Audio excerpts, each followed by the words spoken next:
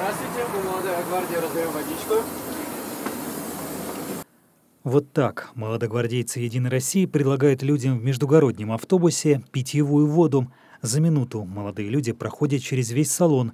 Кто-то из пассажиров недоумевает, многие благодарят. Мне очень приятно.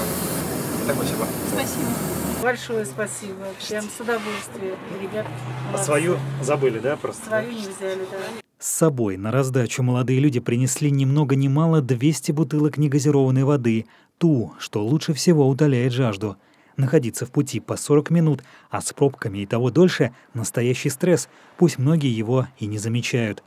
Остановочный пункт «Новый городок» активисты выбрали не случайно. Сегодня мы по поручению нашего губернатора Андрея Юрьевича Воробьева а, и главы городского округа Щелково Андрея Алексеевича Булгакова а, вышли раздавать а, людям воду. Мы не случайно выбрали остановку Новый городок, потому что здесь как раз место, откуда едет наибольшее количество автобусов в Москву, люди на работу. Поэтому считаем, что это место, наверное, самое, самое оптимальное. Предлагали воду молодогвардейцы и тем, кто ждал автобус на остановке, пожилым людям, мамочкам с детьми. В пандемию активисты разносили по домам продукты малоимущим, раздавали в общественных местах маски, а сегодня – воду.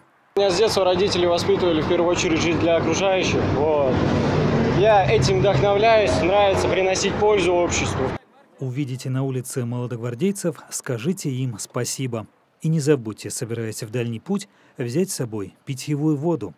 На всякий случай. Михаил Налетов, Щелковское телевидение.